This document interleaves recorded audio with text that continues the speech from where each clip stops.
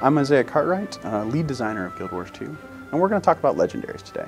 Legendaries are kind of the pinnacle of weaponry in Guild Wars 2. Uh, they're really, players are able to scour all over Tyria, collecting items and forge them into these really impressive weapons. The weapons are kind of this blend of art and effects that really can let you change your character. You can change the way your character looks, you can uh, have your footprints that change so everyone can see them. You have really impressive slash effects and uh, they can change the projectiles that your character has, really allowing you to show off your accomplishments uh, and symbolize all the things that you've been doing you know, we're going to continue to talk about legendaries and uh, my blog post, and you know, just want you guys to continue playing. And thanks for playing.